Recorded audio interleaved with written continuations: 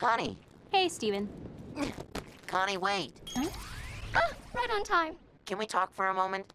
Sure. What's up? We have important training to do, Connie. Yes, ma'am. She's been making great strides, Steven. She's going to be an asset to you. That's the